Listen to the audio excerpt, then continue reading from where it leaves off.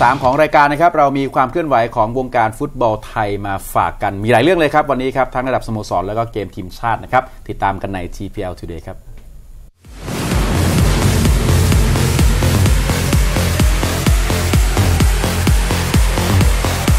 TPL Today ครับวันนี้อยู่กับน้องทรัญญานะครับมโนลีหกุลครับ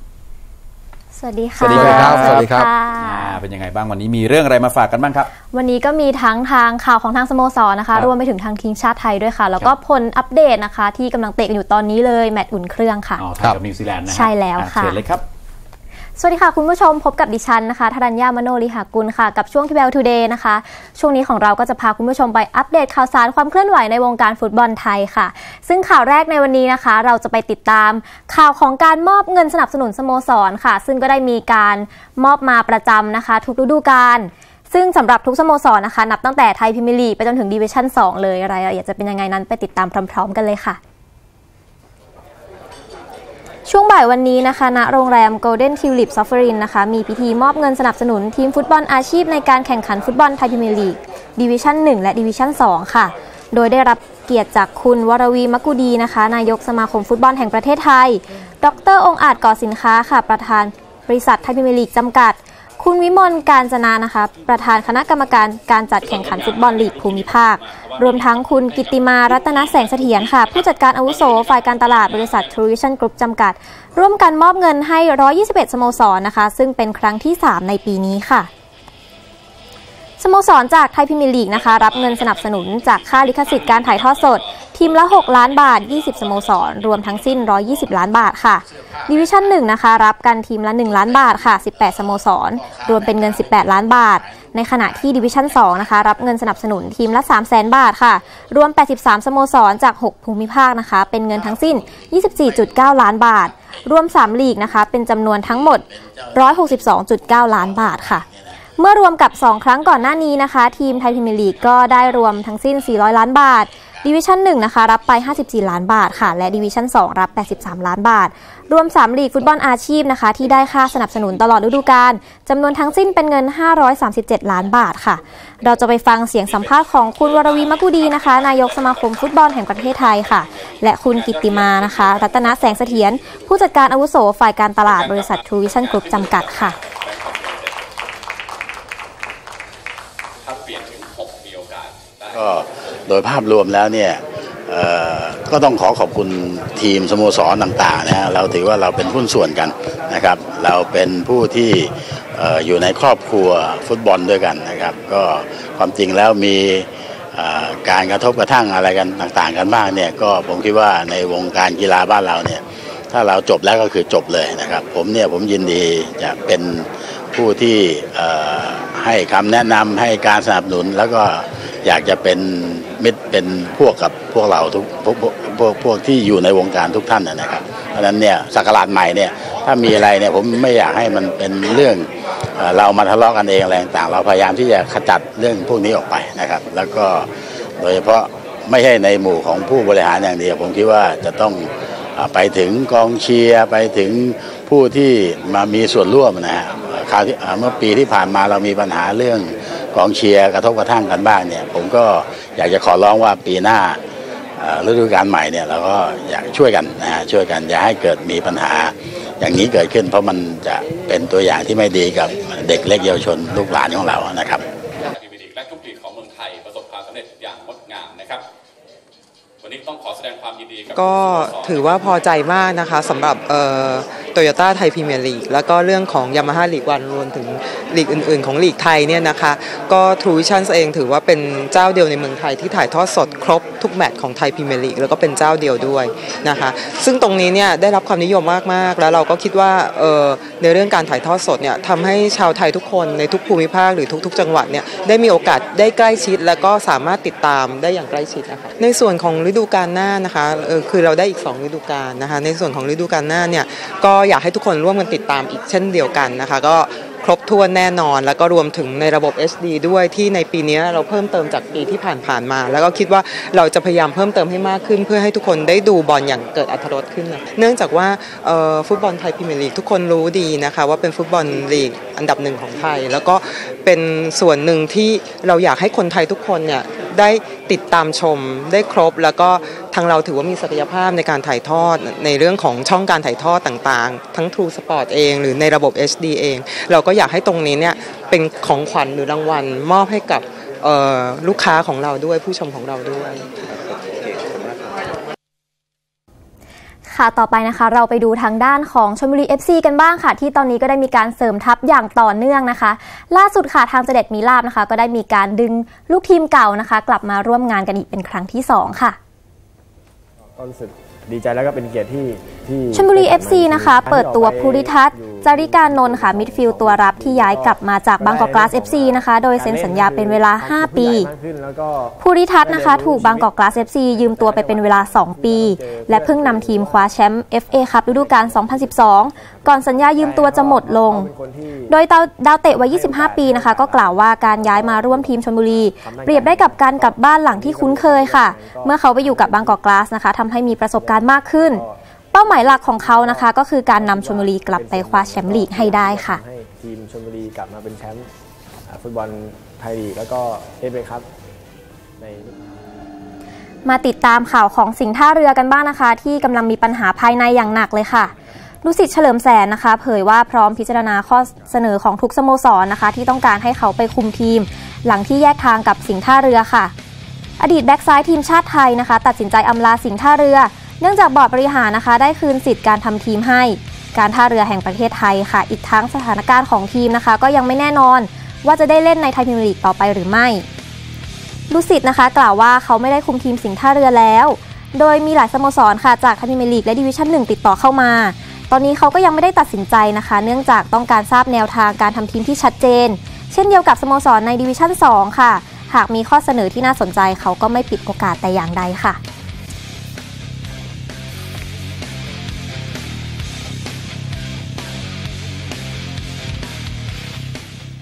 ช่วงนี้นะคะเราก็มีผลฟุตบอลนะคะ อุ่นเครื่องที่กำลังเตะกันอยู่ในตอนนี้นะคะ คู่ระหว่างทีมชาติไทยค่ะกับนิวซีแลนด์นะคะซึ่งตอนนี้นะคะก็อยู่ในช่วงท้ายเกมกันแล้วค่ะ เกมที่สนามกีฬาเฉลิมพระเกียรติ 80 พรรษานะคะ จังหวัดนครราชสีมา ทีมชาติไทยลงสนามพบนิวซีแลนด์โดยเป็นการอุ่นเครื่องนัดสุดท้ายนะคะ ก่อนทำศึก AFF Suzuki Cup ค่ะ ซึ่งในนาทีที่ 44 นะคะ ไทยก็ขึ้นนำหนึ่งประตูต่อศูนย์โดยกีรติเขียวสมบัตินะคะ ยิงด้วยซ้ายในเขตโทษเข้าไปอย่างสวยงามค่ะ และจบครึ่งแรกไปด้วยสกอร์นี้นะคะ ส่วนผลที่เหลือจะเป็นอย่างไรนั้น เราจะมาอัปเดตกันในช่วงท้ายรายการค่ะ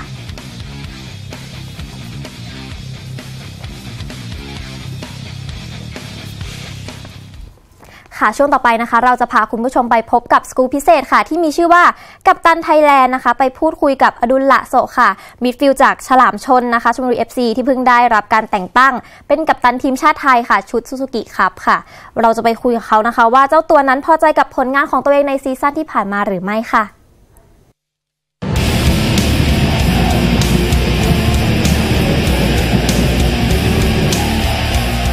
วันนี้รายการ Sport Today ครับ ในช่วงของ TPL Today เราจะพาคุณผู้ชมไปพูดคุยกับอดุลลาโซกับตันทีมชาติไทยชุดลุยศึก AFF Suzuki ครับครับ โดยในวันนี้เราจะไปพูดคุยกับเขาในเรื่องของผลงานของทีมชมบุรี FC ครับ ในฤดูกาล 2014 ที่ผ่านมา โดยพวกเขาคว้ารองแชมป์ฟุตบอลโตโยต้าไทยพรีเมียร์ลีกและรองแชมป์ฟุตบอลมูลและนิติเทคม FA ครับครับไปคุยกับอดุลกันครับว่าในฤดูกาลที่ผ่านมานั้น เขาพอใจกับผลงานของทีมชมบุรี FC มากน้อยแค่ไหนกันครับ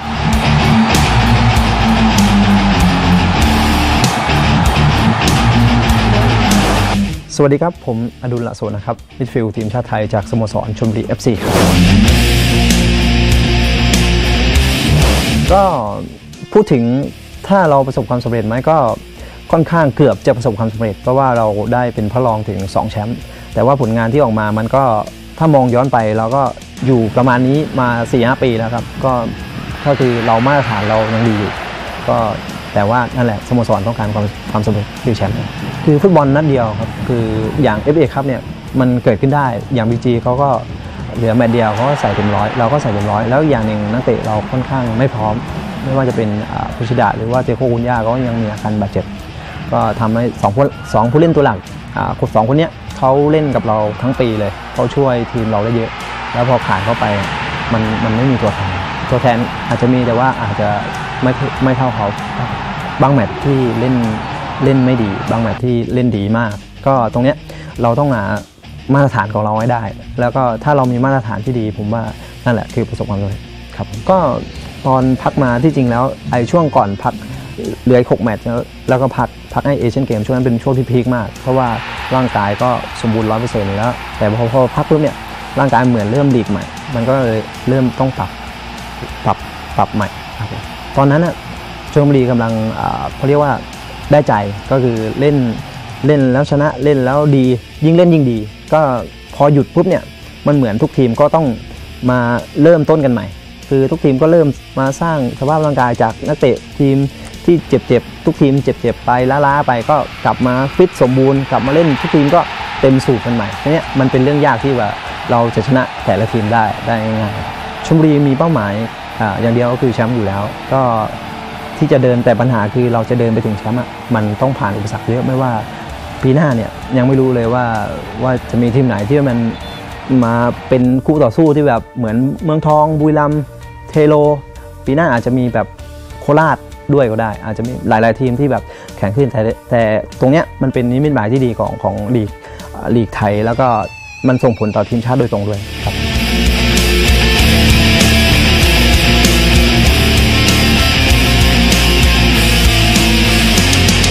ถึงแม้ว่าในฤดูกาล 2014 พวกเขาจะได้เพียงแค่รองแชมป์จาก 2 รายการครับ แต่เชื่อว่าชลบุรีจะกลับมาแข็งแกร่งอีกครั้งหนึ่งในฤดูกาล 2015 ที่จะเปิดฉากขึ้นเนี่ยนะครับ นี่คือตอนแรกครับที่เราพูดคุยกับอดุล หละโสะไปครับ ในวันศุกร์ครับกลับมาติดตามในสกู๊ปพิเศษอีกครั้งหนึ่งครับ เราจะคุยกับอดุล ก่อนที่เกม AFF Suzuki Cup จะเริ่มต้นขึ้น กัปตันทีมชาติไทยคนใหม่รู้สึกอย่างไรบ้างกับทัวร์นาเมนต์นี้ และเขาตั้งความหวังไว้อย่างไรบ้าง ศุกร์นี้กลับมาติดตามชมกันได้นะครับ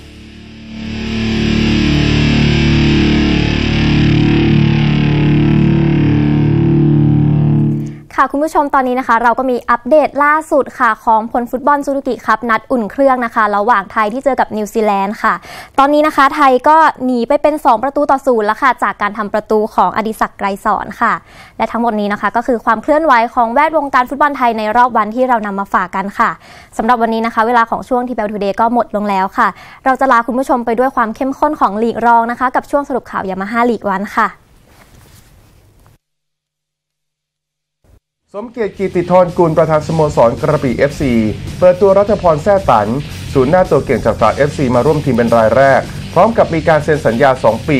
โดยนักเตะวัย 30 เคยมีประสบการณ์ค้าแข่งกับหลายสโมสร ทั้งราชนาวี จันทบุรี FC และตราด FC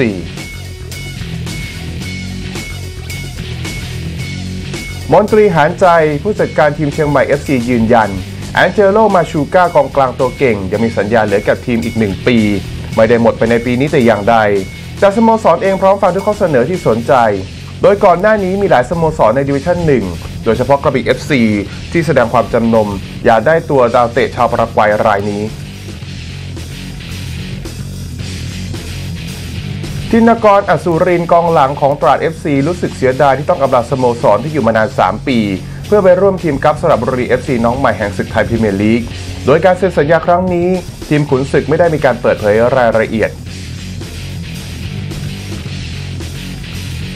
อยุธยา FC ปล่อยตัวนักเตะชุดทำศึกฤดูกาล